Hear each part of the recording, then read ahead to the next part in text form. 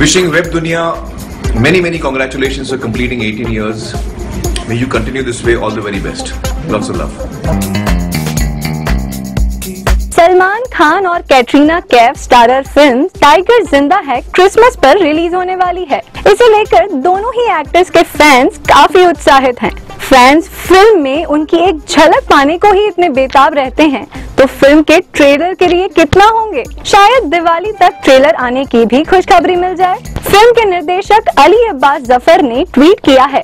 कि अरे भाई, सबको पता है बाईस दिसंबर को टाइगर ज़िंदा है, आ रही है। बहुत काम चल रहा है। अभी दिवाली आ रही है, कुछ गिफ्ट तो मिलेगा। हालाँकि निर्देशक ने खुलासा नहीं किया कि क्या मिलेगा, लेकिन ट्रेलर से बड़ा गिफ्ट और क्या हो सकता है? उनके ट्वीट से तो यही लग रहा है कि फ़िल्म मेकर्स दिवाली पर ट्रेलर लॉन्च करने की प्लानिंग कर रहे हैं। संभव है कि टीजर ही जारी हो जाए।